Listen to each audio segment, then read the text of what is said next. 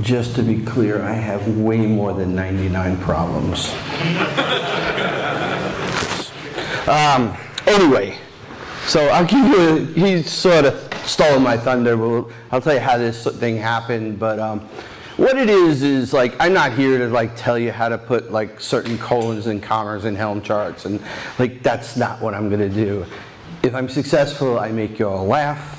You get a little bit of a, my 30-year history of configuration management and um, make fun of some interesting people that I actually really love, but I am going to make fun of them. Uh, who I am, um, 40 years of doing this crazy stuff we did. I started actually as operator on mainframes writing assembler code. Um, I actually was Exxon. I, I, I worked um, for Canonical on the first, this is pre-OpenStack. Ubuntu Enterprise Cloud. I mean, a terrible, terrible, terrible piece of software. But, um, and then went over to Chef. I was the ninth person in Chef. long story. Um, I sold the company to Dell, which was very interesting. Sold the company to Docker, spent a couple of days here. Long history, not going to bore you, look me up. Um, but now, um, Andrew Shafer, some of you might know, called me in September and said, hey, John, how would you like to come work with me at Red Hat? And I was like, Andrew, this is John. You called the wrong guy, right? Um, and he's like, no, no, like we could do something cool. And I'm there, and I think we're gonna do something cool. We'll see. I don't know. So yes, this uh, this tweet. So I'll tell you why I wrote this. Like we do, we make fun, we do silly things. We in the middle of like to just clear our heads, we go out to Twitter and try to say something like that sounds clever, maybe funny, um, maybe it's terrible. Um, sometimes you get into like year wars where you want to quit the industry, but uh, another story. Uh, so I did this, and I'll tell you why. And then I got like an hour later, like your uh, CFP has been selected. I'm like, okay, well, I'll play along. I didn't know it was Chris. I should have known. And I'm like, okay, I'll play your silly game. Thanks. About three months ago, I get a call, and I'm like, hey, you know, you're speaking at Ghent. I'm like, I thought that was a joke. But hey, all right. So, it, uh, you know, in all like things of like history that doesn't matter, I think I'm the first person who got a CFP selection via a tweet. So. No, Mark Burton told before you. On a tweet? Yeah. Dang, that guy. He's always beat me out. Um, I love Mark Burgess. Like, don't get me started. So I don't know if you guys remember last year, um, Rod Johnson, the guy, the person who wrote Spring, um, wrote this blog article in defense of YAML. And the truth was, he was really sort of ragging on YAML. But he was ragging on YAML in what, what I would say the right way. And, and I'll, I'll, talk about what, you know, like, you know, like, he's like, I'm doing this for all of you. Like, you know, you know, and again, like, again, I'm making fun of people that are far more successful than I'll ever be, but, but here's the thing, right? Like, he did, like, in the article, right, you know, this was GitLab's build uh, YAML. Was 1,100 lines of code. It basically had variables and inline scripts now, he shamed them because they've rewritten it. But, but like that was his point. Like we've gone haywire here. like if we're writing 1,100 lines or 1,200 lines of YAML and we're, you know, we're building inline scripts with variables and like, this is not code, folks, right? Um, and, and anyway, like as things happen, of course, the Twitter stream went nuts.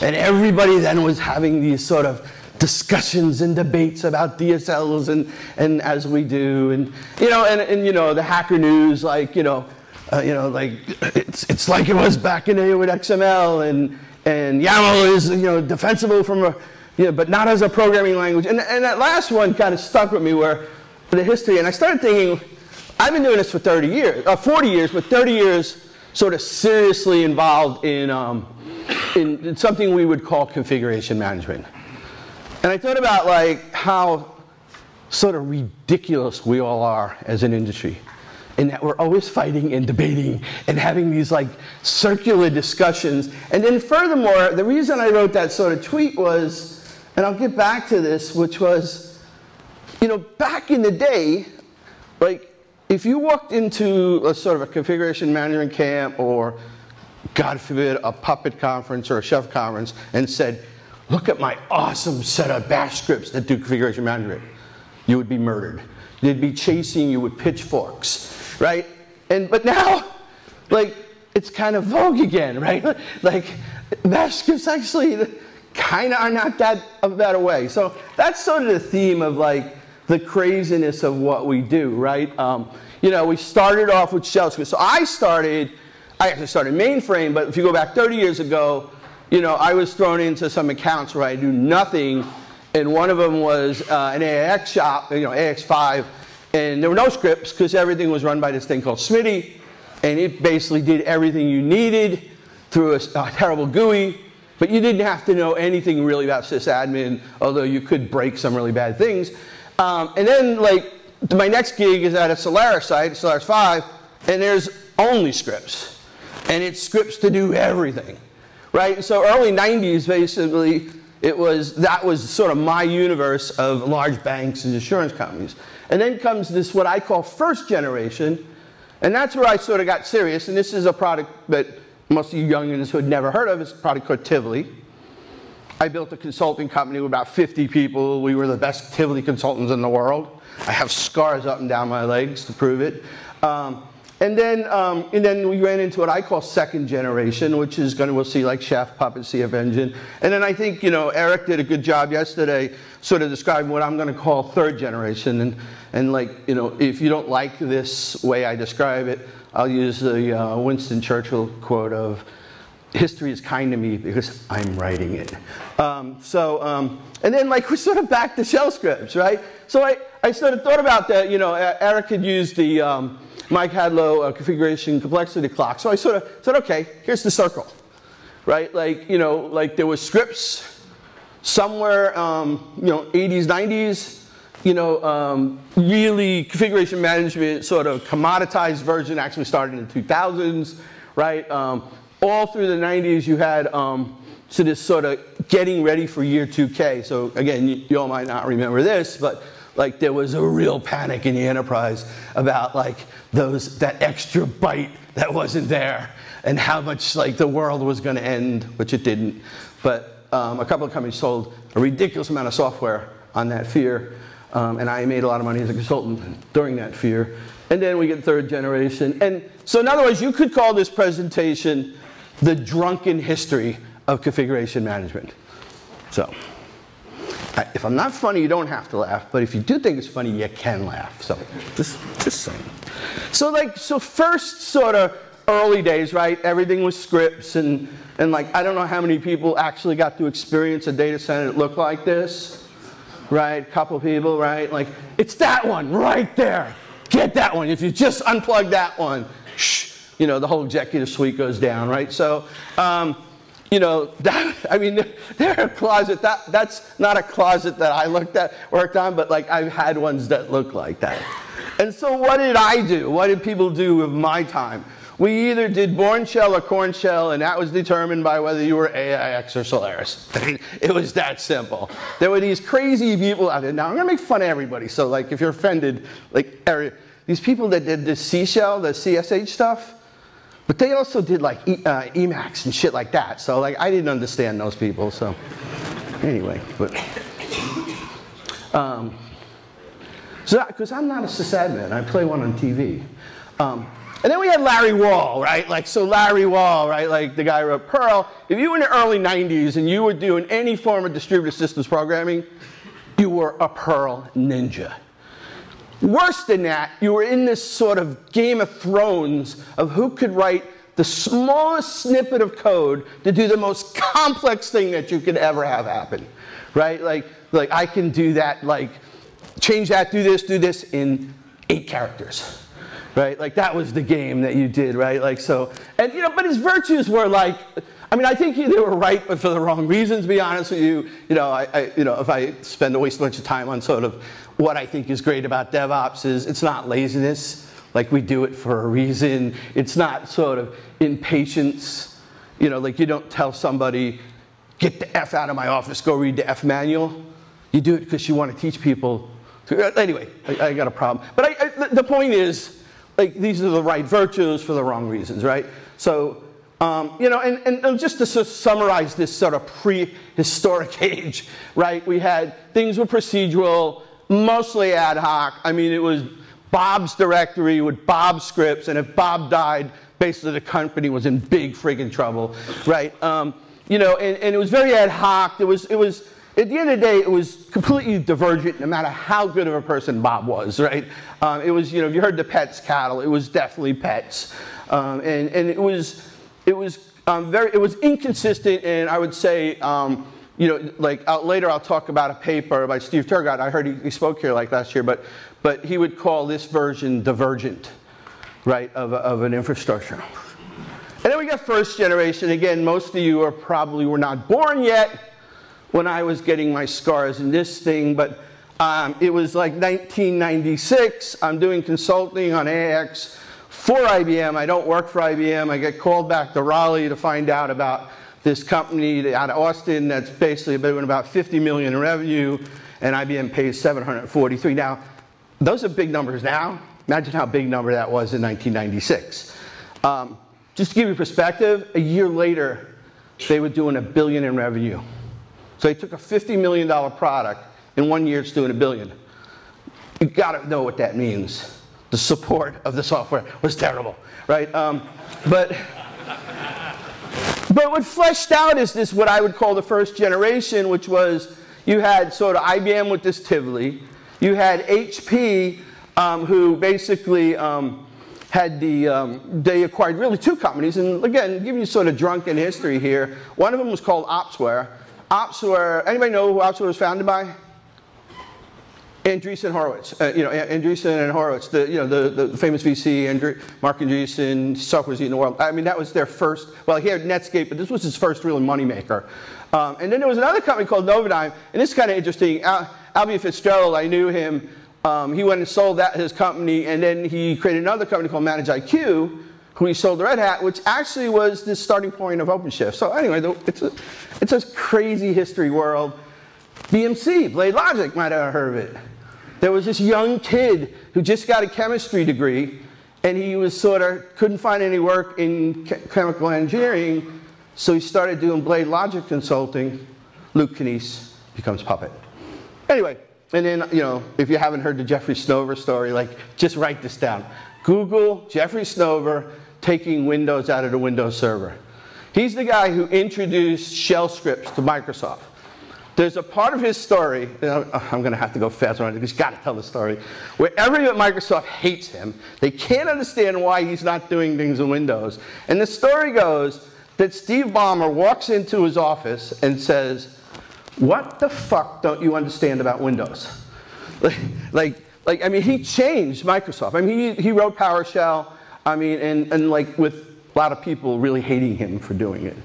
Um, you know, so, all right, summarizing first generation, like it's loosely declarative, it's mostly descriptive, it's sort of manual and ad hoc. It's better than Bob scripts, right? I mean, like it really is sort of, at least you're putting some deterministic structures together. Um, but there's no set, no, nothing of what we sort of, you know, and what I'm trying to say in these generations are these are the major changes that happen. So we still didn't have sort of desired state. We didn't have sort of the things we, we learned from sort of what we call infrastructure as code. Um, it was sort of no pets, no cattle. Still divergent because even though the way you structured things, you still had this like Saturday night ro weekend rollout, right? And so it wasn't really sort of a consistent. So and it wasn't disposable, right? Like so, and just to give you, just for some fun, um, the way you had to do advanced things with these products, they had their, their it's called software differentiation package, is you had to basically export what you think kind of worked, and then you sort of manipulated it. But here's the thing, you didn't dare put like spaces or tabs in this stuff because you were pretty certain the compiler would go places that no human should go. Um, and, and so you literally had this like wrote like thousands of lines of just descriptives. And, and you can see there's some interesting stuff that like we go, oh, that's sort of in Puppet, that's in Chef. Like, but, and then like, here's an example, like, for example, if you were doing, um, you would do like add the directory. You had to have sort of an add directory set of like an INI file, and then you had to make sure all your sort of add files were blocked in there. But again, no comma, no blank spaces, no tabs. I mean, it was just terrible stuff, right? And uh, and then you, you could do executions, and the only way, like you could get any sort of logic, right? Like most of the people are like, we get a product and we since we're, we're reasonably smart, so we're always having to do more advanced things than the product gives us. So this product gave us like some crazy way to do advanced things, like before, after scripts, remove scripts. So you could put a bunch of logic to sort of to get that thing that you wanted to get to in the real world scenario. But now you had this like new version of Bob Sprawl, right? So it was, I mean, it kind of worked, it was better, but it was terrible. So then we go to sort of second generation, and again, I'm just stealing that sort of clock. And, and so I wanted to show you this real quick. I can't give you the whole presentation because it would take too long, but about two years ago I did a history of DevOps, and I had this artist sort of draw me the, um, sort of a, a timeline based on the sort of Grateful Dead, what a great strange trip it's been. Uh, CF Engine in 1993, Puppet 2005, AWS 2006. Oh, so what do I, oh, I got to do this. Thank you. Uh, yeah, yeah, of course. I was like, typically people are not bored by this. Um, now the question is, I got to scroll. All right, there we go. All right, so Grateful Dead, right? Timeline. It was like that two years ago. I wanted to go ahead. Uh, you can get this PDF from me. Uh, CF Engine in 93, Puppet Labs, um, uh, you know, 2006. So I met Luke at OSCON in 2007.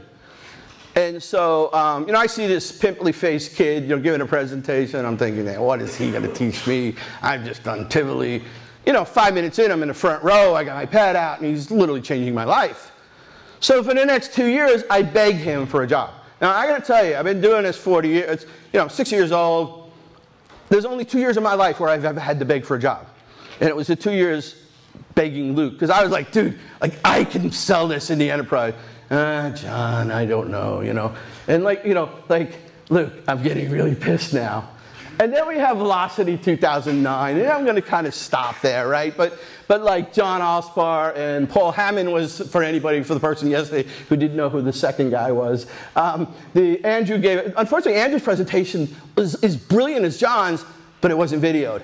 And then, uh, you know, Adam. So let's just got to tell the story. So I run into Luke in the hallway, and I'm like, Luke, come on, man, you have to hire me. I, and I'm like, can we figure something out? And he's again, John, I just don't know. So he walks away. I'm like, you know, screw you. I'm tired of asking. I start walking down the hall, and there's Adam. And if those who don't know Adam Jacob, like he's a sweetheart of a human, right? He's sitting at the table. He's like, John, why are you so sad?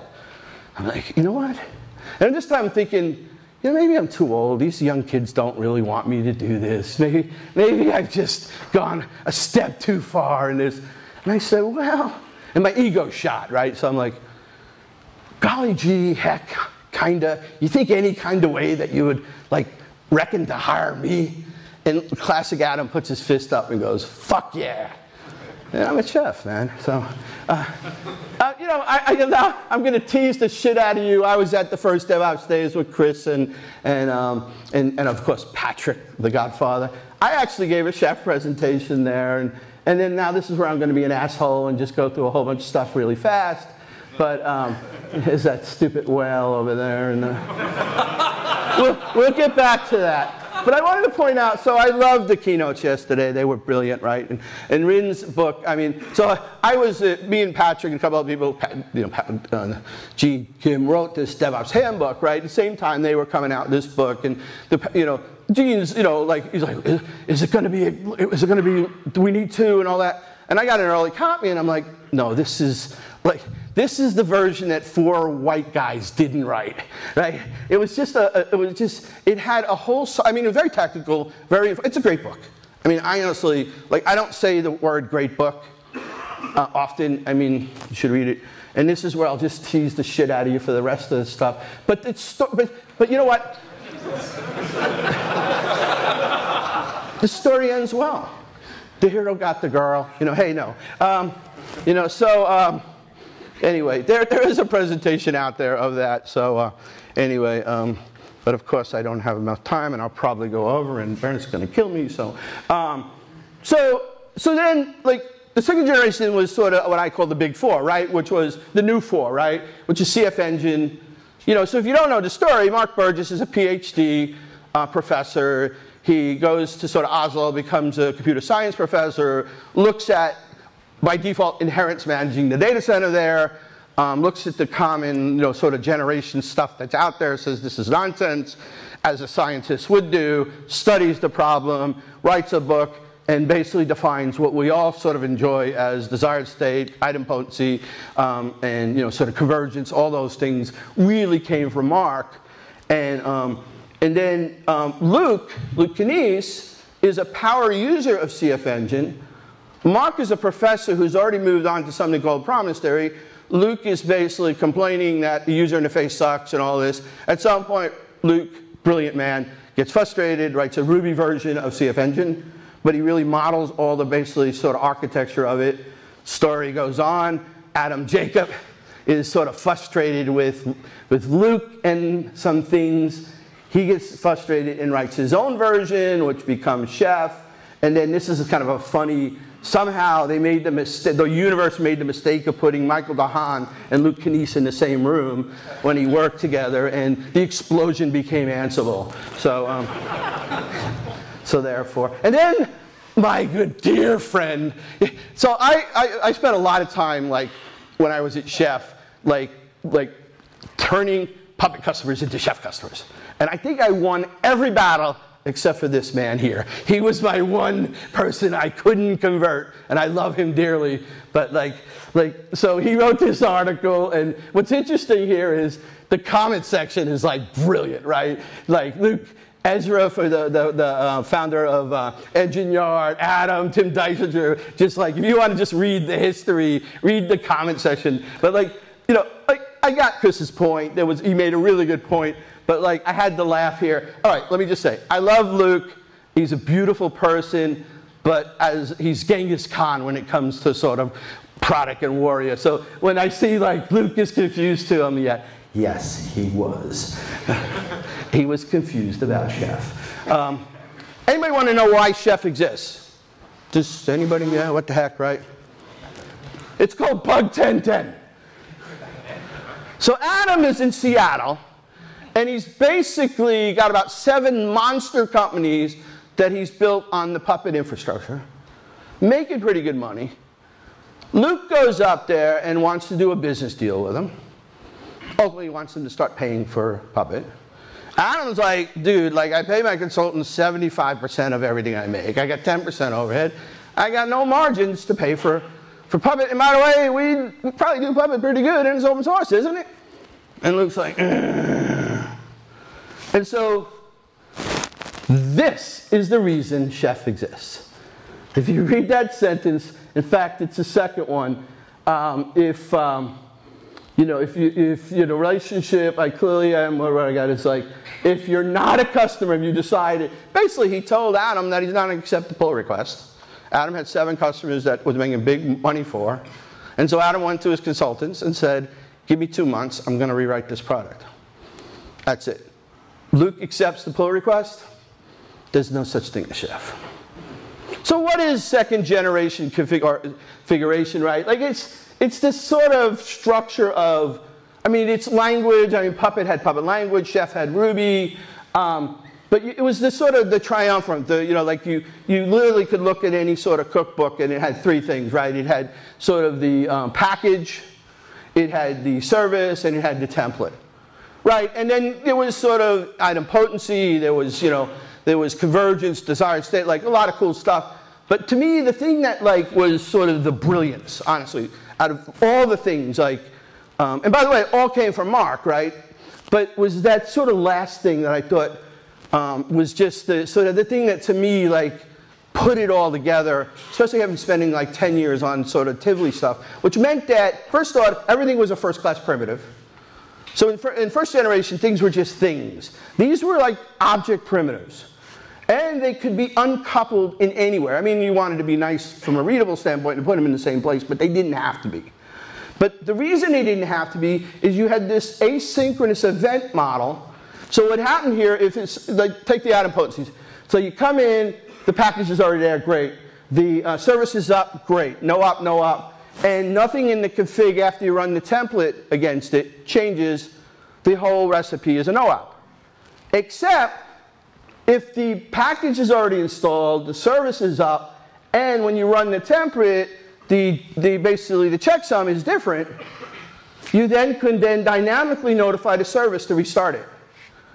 Right? Like, and that was sort of the brilliance in my mind of like second generation. And what's interesting for me is um, when I first, I learned, learned the products in reverse. I learned Chef first, Puppet second, and then, um, and then CF Engine last, right? And that's a whole other story. So I, I like, Adam's the most genius person in the world. How did he ever think of that genius way to create asynchronous sort of decoupled event notification? Like, and then I go in Puppet, I'm like, oh, it was Luke who was the genius. Then I learned CF Engine, I'm like, duh, it was Mark all along, right? Like, so it was, I mean, these were things that were just primitives in the original CF Engine. Of course, the PhD, know, physics professor would have this idea first. Um, Ryn talked about like this like great example with the chef and I think it was the Apache servers, right? Like Jerome, you know, everybody should know who Jerome is, right, from Docker. He had a very similar, like, I would go like, like you, you have ensure version sells a list, it just goes out and does a bunch of stuff and like, oh shit, we need 098. Like, well, tough, tough asshole, you told me to go here and like now we can't find that package anywhere. Like so, like we got to we, we over rotate on how smart these things are, right? The the point being is, you know, CM tools are only as good as their sort of authors. Like they'll do real stupid stuff if you tell it to, right? Um, you know, the pros, um, you know, uh, the you know, like so, so like second generation was awesome. I mean, I spent 10 years like being a prophet a chef. I mean, people would like we were, if we were in a bar in an after party, like, okay, here comes Willis, so God, he's going to open his laptop and give me a chef demo. Run for the hills, right? I mean, I couldn't resist it. Like, you got to see this. It's just crazy, right? And uh, I mean, I was all in, right? I mean, um, now to think about how you had to do sort of variables and nodes, for, node variables and, and synchronization, it was terrible. But hey, back then I thought it was pretty awesome. Um, but you know, self-documenting, um, you know, reusable, you know, and you know, and like so, you know, one of the things I loved about Chef was it was brilliant in parameterization, right? Like you could, again, now today both products are basically equal. Back when I was selling against Puppet, I walked into a client that had a thousand Apache manifests, and we converted them to three Chef cookbooks. Parameterization, like, is really cool. Um, but um, you know, it's, uh, you know, uh, they all, again, they're all equal now, but back then we had data bags. We could, we really could do database parameterization. Like you really could, I mean, we were doing some real clever stuff. Um, it, it's consistent. Um, but here's the other thing about that clock. I don't care where you, and that clock will just keep running, right? Like Eric kind of gave us that clue yesterday. Like once we get here, we're going to start all over again. You will always escape to bash scripts. They will never go away. There'll always be a scenario, no matter how smart your product is, how great it is, you're gonna make a call to a bash script at some point. Trust me, I'll be long off this earth, and you'll go like, that idiot back in Ghent. I remember hearing he said that, right? Um, and, um, and, and so, and, and then we, it actually gave us the first opportunity to kind of create real testing harnesses, right? Uh, you couldn't do this in first generation, right? Um, you know, uh, the cons basically there was learning curves, right? Um, you know, you sort of not only had to learn a language, it might not have been a language you liked, and then also it had its own idioms in that sort of language itself. And the truth was, like even though Chef was Ruby, it really wasn't because it was a two-pass compiler, so it really sort of compiled into something other than Ruby. Um, you know, um, again, you always wind up, you know, shelling out, right? Like in, in some of the worst sort of, exam- you know, customer example cook, chef cookbooks were like, just a bunch of scripts.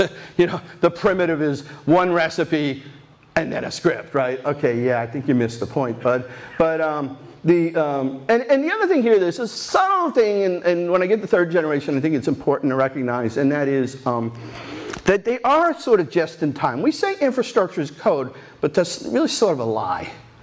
Because when we think about code, most of the time, we think about it as being compiled and sort of uh, binary and immutable at that point you know, a Java, a jar file or something like that. When we say infrastructure is code, in, when we're talking about CFN and Chef, what we're really talking is really compile as code, right? Because every time we're running it, we are compiling it. So if we're running every 30 minutes, we're basically sort of going through a new mutation of what the output is. Now again, way better than Bob scripts. Creates far more consistency than somebody's checklist.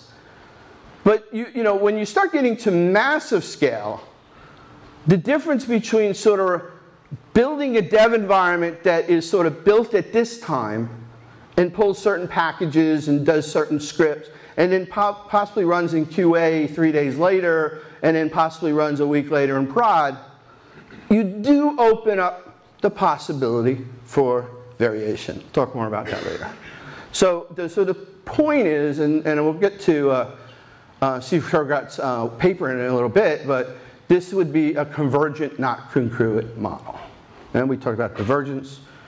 So, uh, and then, uh, you know, finally, just summary, mostly declarative, fully automated, like centralized, right? First generation really didn't have a, you know, first generation was next weekend we're going to blow out 50,000 servers. And on Sunday you're at server 28,000 and it failed and like, okay, next weekend we're going to do 58,000 servers, right? Where, um, where most of the products had that sort of centrally, I will run every 30 minutes or every hour and I'll sort of converge desired, desired state. Um, I mean, everything you'd kind of want disposable. The, the, early joke of sort of infrastructure code was, does it pass the throw it out the sixth floor windows server test, right? Like, yes, it can, um, but not immutable. And then, so I, I couldn't come up with a name here because like, I don't want to make fun of people that are here, and like, there are some really good things on this, but there's certainly things I want to, so Michael Cote brilliantly gave me a great title for this slide, which is Citizens of the Plateau of Productivity. All right, so um, again, I'm an equal offender, but Juju, guys, really?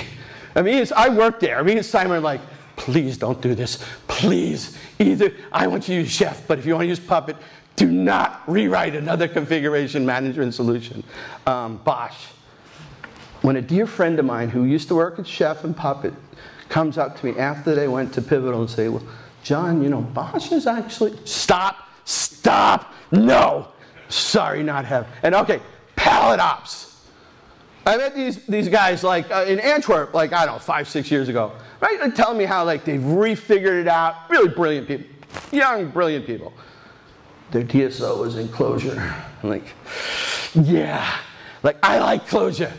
But somebody who works in a bank for 25 years, not gonna wanna learn Clojure. And like you know a product is a failure when in order to present a presentation for today, to find their logo, you have to use the Wayback Machine. So, um, but on the flip side, Salt, Rudder, awesome, love y'all.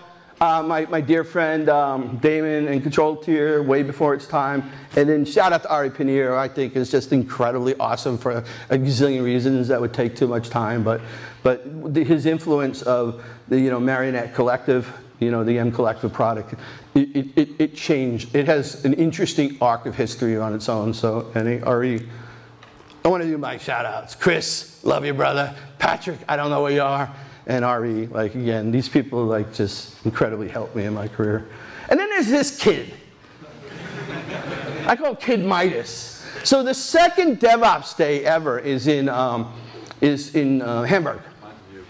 No, no, I'm sorry, the second Europe, second Europe one.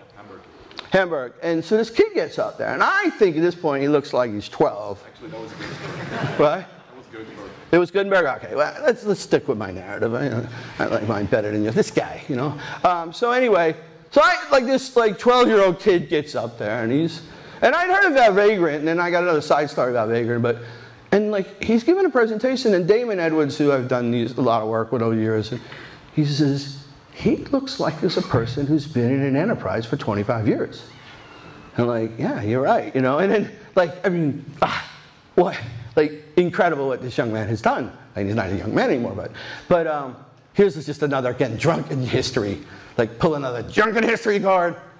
So coming out of college, he wrote Vagrant. Vagrant was a chef-only implementation. Great. Somebody tells me he should go talk to the chef folk about going to work there. Now again, I love you, Chris Brown. You're a genius. That development team was awesome. You know, Chris Brown wrote EC2 and then wrote chef, right? You know, like, but he said Mitchell wasn't smart enough to work on their development team. Huge mistake, gentlemen. Hey, I don't know, you know. I don't make the rules. And then we have the third generation. Now, hold on, everybody, because some of you are going to get mad right now. But we have what I call the criminals formerly known as Docker.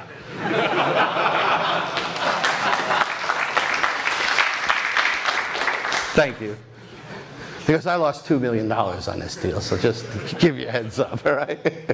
so, uh, so like, if you want to defend Docker, meet me at the bar, buddy, and we'll tell you, all right. But, all right, so in all fairness, Solomon made a sort of sea change in our industry, right? Like, there were containers and, and you know, sort of Google had been doing it forever and, and all the sort of PaaSes.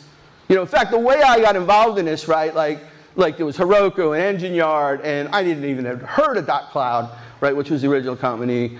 They are, they've already burned seven million of a ten million dollar investment from Benchmark Capital, who was like Peter Fenton is the god of like investments, and um, and they leave it for dead. And Solomon has this idea that all of the other PaaSes are doing containers. Why don't I just commoditize this and like turn this over to everybody else? It's kind of a unicorn horse thing, right? Like only the unicorns really understood how to really make containers work really well. People like me who are horses were like, you know, in fact, I remember Stephen Nelson Smith, who uh, at one point worked at Chef, he wrote a book called Test Driven Development Chef. And in a late chapter, he talked about using LXC for massively scale testing with, um, with in your CI/CD chain. I'm like, wow, that sounds like a cool idea. I wasted three or four nights of my life trying to figure out how to do that. You know, like building an AMI with a kernel and like finding this blog that, you know, step three and four, you had to go to four other blogs to find A, B, C. Like, I give. like, it would have been fun. And then I, uh, I wind up meeting Solomon before they open up the repository. By the way, I was, I was offered a job to be the first person in, not .com, but the first person in at Docker. And I turned it down because I had another company we sold to Dell, different story. But but my experience was I had this terrible experience trying to get sort of containers to work, knowing it would be a brilliant idea if it was easy, and figure, you know what, it's not easy. And then um, I get early access to the Docker repo that was private, private at the time, and like I'm um, apt-get installed Docker and AUFS and Docker run. And in fact, at that point, I didn't think it worked. I was like, oh shit, here we go again. You know, containers and me don't get along. And I realized it ran because they didn't put any flags on it. So it just ran, right? And I was like, holy shit. Something that I spent three nights wasting my life on, I just ran in like six minutes. And I'm like, this is gonna be big, right? And, and it was big, right? Like the, the way he, you know, I mean, like even in the early days talked about how they wanted to model Git. So like the push, the pull, like even the concept of like there was everybody sort of had their version of containers, but creating like a Docker hub and, and giving the ability to have sort of commoditized shareable images, right? These were huge things that literally, well, you know, you saw what happened in 13, 14, 15, and 16. There was a point where in 16, like Docker was like Coca-Cola. And then Solomon fucked everything up. But anyway, different story. Um, yeah, right. All right. So, you know, remember earlier I said if you showed up with a script at like uh, um, you know infrastructure as code conference, you would just be flogged and like beaten and like how what a terrible human you are. In the five-year anniversary, don't correct me here. The five-year anniversary in Ghent, there was an open spaces on the topic of Docker files. And like, I wish I had a recording because you would have thought that somebody had basically destroyed mankind. Like, they, like how could we go back in time? This these Docker files. You know, it was like, like you had like the chef and the abstractions and like, what did we do? We went back to this, again, you get sort of my sort of theme of the silliness of, and today like Docker files, like you, there's no Git repo out there that doesn't have a Docker file in it, right? Um, you know, so, and then the other thing that was sort of, sort of Jennings, uh, sort of, it happened a little before, but you had this whole notion of immutable infrastructure, right? So I don't know, you know, back Netflix wrote this article about you know building with Legos, right? Which was the way they drove infrastructure was, and they're the ones that actually started the whole no-ops nonsense. But but they're um, they would basically say that you know whenever you're about to deploy to production, you just pull an artifact, which was an AMI that was pre-baked, and it was that was the thing, right? So so it was sort of immutable to basically the operating system. But it wasn't full stack. And then Martin Fowler wrote a very similar sort of um, Phoenix from the ashes, right? So there was this sort of themed immutable infrastructure. But when I got to Docker, I started thinking about, well, it's really now immutable delivery, right? Because if you think about immutability in the infrastructure, it started at sort of, sort of an artifact repo, and then it was immutable. And that's great, except what the world world really wanted was a developer could create some infrastructure on a desktop and have it binary immutable all the way to production. You know, to a percentage, right? Like we know there's still sort of difference. But in general, if I was running something on my sort of development environment with like six containers that all sort of work together, and they were all pinned all the way through the pipeline, and I got to production, I was pretty sure that if there was a problem, it was a 99% problem, it wasn't mine. Right? Because I actually did the testing that I did you know, like minus sort of sort of the host and the node and the, you know those things. But it just really gave developers first time this ability to have control all the way through the line. And, and in general, that's why Docker just blew up. Developers like, I like this, and um, you know, and so I started talking about immutable delivery. I wrote a blog article. You know, I had written the the, the, um, the DevOps handbook in the three ways. And but my real thing was I've spent a lot of time studying lean, right? Like I'm a Deming freak. I, I like really, I've done some work around the whole lean thing. I've really deep dived into it. And one of the things that in lean, uh, this is a question of 4VL, right, these Vs. And one of the Vs is variation. And one of the things that like anybody in sort of manufacturing, variation is the root of all evil, right? And, and so, um, so I found this old paper and I started using it as I do, as a weapon against Chef Puppet and all of the ones is that order. Ironically, we used this paper against Puppet back in the day to say that, you know, uh, you know, Chef was ordered and, you know, in the early days you had the DAG, right? And at scale, hey, another conversation. But, but, um, you know, the, but then I realized, like, this is a way better argument for immutable delivery um, or sort of immutable artifacts, which are containers. Is anybody completely lost at this point? Oh, that guy up there. Okay, we'll talk later. No. All right. So, but so I, I, there's this thing that he did in the paper, which he talked about sort of divergence. I mean, he didn't talk about generation. I added that convergence and, and congruence, right? So, so divergence, what I talked about earlier, it's Bob. It's like chaos, and even Tivoli sort of diverging because maybe this Sunday, two Sundays from now, we'll do it. We get to convergent, right? This was a beautiful thing, right? Where we literally were sort of Everything should look like this. So every 30 minutes, we'll sort of force it to look like this. But you really was sort of a yo-yo of drift, convergence, drift, convergence. And then again, depending on how you ran, what you build, there were like there were a lot of pockets for variation. And again, variation is the root of all evil.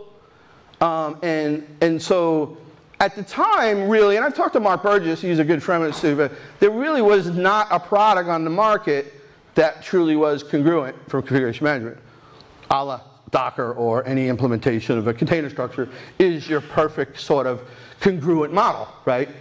To the extent that what you built is, you know, binary immutable, again, some caveat. So I started thinking about this more, again, like um, for those who know me, I usually bore you way worse with Deming stuff, but, but um, Statistical process control is a thing, like it's how they run nuclear plants. I mean, it's a thing, right?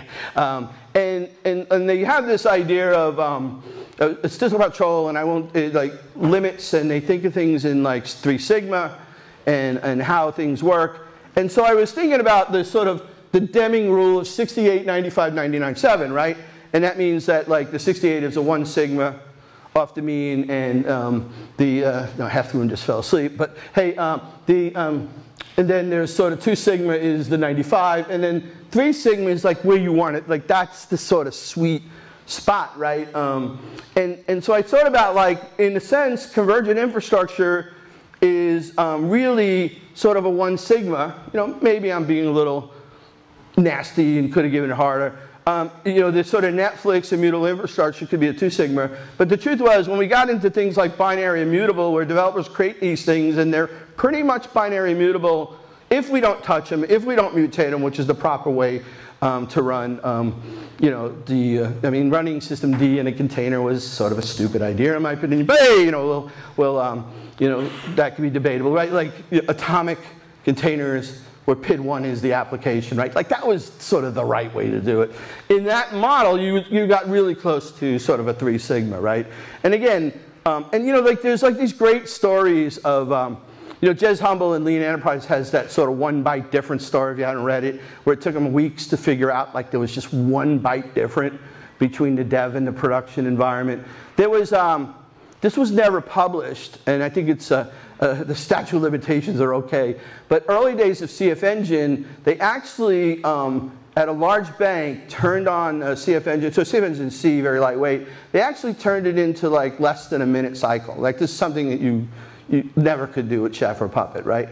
And what was interesting, they did this for like a day or two, where they literally ran the convergence like 40 seconds, 30, I don't know, it might have been a minute. Here's the thing, right? When they sort of mapped it all out, you know, so they had thought they had deterministically modeled everything that ran, right? When you turn down the cycle time of sort of a convergent model, they found that there was actually an unknown billion unplanned changes happening a day right? And then so if you've ever thought anything about or heard about systems thinking and butterfly effect, like imagine all the inertia that creates. Imagine all the Heisenbugs that creates if, there, if your infrastructure is actually having a billion unknowns. So variation, like we might not even see, like start following John Allspaw's stuff, right? And start thinking about like sort of the, the world of complexity and complex systems and how thinking you know how it works is the wrong way to think about it, right? Give that you do not understand how it works and start from that perspective. So the pros are that, um, you know, less variation. Again, to me, I think that's the, you know, it's a big deal. When you start running a million containers or 10 million containers, right, um, that, that's going to make a difference in the things like the sort of Heisenbug and the, the sort of weird variation patterns that could happen otherwise. Um, totally faster provision. I mean, it just sort of like met at a perfect time with, uh, with microservices, um, cloud native, like, it's just they all fit together perfectly. Um, you know, um, you know, like it, it, sort of eradicated the use cases for a lot of infrastructure code, although there still are even today um, a lot of good arguments for infrastructure as code for certain things that it really doesn't make sense to, um, like, I think I see companies trying to run batch jobs for remediation in banks, and they, they fire up like, you know, a thousand Kubernetes clusters to run eight hour batch jobs. Like, yeah, I don't think that's where we should have went, right? Like, anyway, that's just one of many examples. The cons are, um, you know, um, the sort of DSLs took that downgrade. Like, and you can, you can argue, you know, back to maybe like YAML is the greatest thing that ever happened, and that sort of may be true. But if you look at the arc from scripts to sort of, you know, things like Tivoli descriptives, which got better, to sort of language primitives that have sort of this nice, you know, chef and puppet event notification I talked about. And now you're sort of arcing down to like Docker files, which is sort of less mature from that perspective but have this sort of beautiful simplicity, you know, and, you know, so again, you know, so there's this sort of arc that I think we, we just will always continually go through, you know, but in, in the end, um, you know, these models are partially declarative, um, you know, partially descriptive, fully automated, right? Like in other words, um, you know, like again, all the sort of benefits that you would get from a second generation that you could sort of, you know, and, and, and I think the other thing too is you sort of move to a mindset of just, um, you know, just throw it away re and repopulate it, right? Like, so again, in immutability, if you have a change, just push the new sort of image, right? Um, certainly, uh, cattle, not pets. Um, and it is, in this case, congruent, not convergent. Again, I think I made the point that there's a, a difference there. Um, repeatable, disposal, immutable. All right. And uh, wow, I mean, I didn't like, I thought this was going to take way longer than I thought it was. But anyway, um, so the new normal. So now we go full circle. And uh, we are sort of back to sort of script sign, kind of like people, like I got 99 problems and a bash DSL ain't one of them. I'm seeing people thinking, yeah, you know, this bash script stuff wasn't that bad after all. If I format it right, if I put it in a directory structure, Like, you know, screw those people that made fun of me 10 years ago. so, 30 years. AIX MIDI, Sun scripts that did everything you could imagine that could ever be done. Going ahead and learning this terrible Tivoli product that had, you know, it didn't just do configuration, it did monitoring, it did security, it did, uh, you know, just like, you know, going into customers and feeling like, oh my God, I'm going to have to do this, but I am not going to be able to help them. Um, terrible feeling as a consultant, but you still cash the check. Um, I meet Luke Kanies, I think, wow, I've been doing this wrong. This is the way we need to do this. Like this is like this is magic. Puppet was magical to me when I first saw it. I gotta say, Pulumi looked pretty magical tomorrow, but I haven't tried it yet. So anyway, I'll just table that one. But like, I, um, I, I, hope I won't have to say Pulumi changed my life like Luke did. But hey, um, but anyway, the um, you know, again, Adam working at Chef and then sort of following this movement of that was just, I mean, you had sort of, I mean, just to get a little meta here for a minute, if you think about the last, like, I could make fun of infrastructure code all day long, say the world has to be immutable. The gentleman up there who gave the presentation, you know, about sort of this new world and atomic. Eric talked about if you have to put agents on systems, you're probably doing it wrong, right? Like, that window's done. There was sort of a 10-year window of, this puppet chef stuff. And, but here's the thing, right? The general commerce that we have today over is a sort of a Cambrian explosion. Cloud, oops. You have cloud, you have, um, you know, like, I mean, I don't know that you, if you didn't have those products, we couldn't have like Uber or like, I mean, the things that like sort of, and again, we could argue whether that's a good thing or not, but, but the point is, I mean, but the, you know, like, so that we have to give that sort of generation its due because you combine it with cloud and like you, I mean, like I've done 11 startups, right? I mean, do a startup like is really hard to get successful, but really easy to get started. You go Google app, you don't need any office, you can get something on Amazon built really quick. I mean, like 25 years ago when I was doing my first, you know, 30, 30 years, actually, uh, yeah, 30 years ago doing my first startup, thanks. Um, it was hard. You had to, my first startup was a mainframe product where I had to convince a bank to let me use their mainframe from 11 p.m. to 4 in the morning. So for two years, that was my life. I literally would go to work at 11 p.m. I'd work to 4 in the morning. I'd have breakfast. Actually, back then, I did work out. I'd go to sleep. I'd wake up at about 9, and, and, I, and I, that was my life for two years. Right? And because one bank was nice enough to let us use their sort of batch processing mainframe, right? Like it was hard to write a product. All right, so again, next Fetter, like, that, like you have to give our due to sort of Luke, Adam, and um, you know, and, and, and, certainly Mark Burgess, right? And, and, and especially Mark Burgess. Um, so, but anyway, gone through this arc. And uh, to my, you know, here, like, so I'm sitting here, right? I'm remembering how we mercifully made fun of people at Chef who brought scripts to the party. And then I see this product announced called Habitat. And I look into it a little bit, and I notice the DSL is bash. Now, I don't have my phone, but hey, Adam, how's Elizabeth? How's the baby? Um, you know, was the weather okay? How's, what's the difference between Adam Jacob? Between, yeah, yeah, no, no. Hey, this Bash DSL thing, it's, it's an April Fool's joke, right?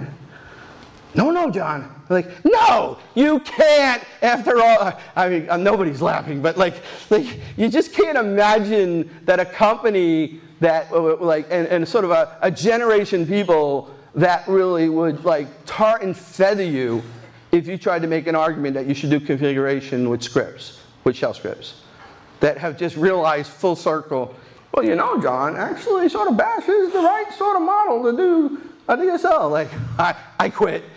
Game over. Like, like, like, we're all idiots. Stop arguing about DSLs. Like, just use whatever works. YAML. If you actually want to write 1200 line YAMLs, God bless you. You know, so um, Everything that's old is new again. Thank you very much.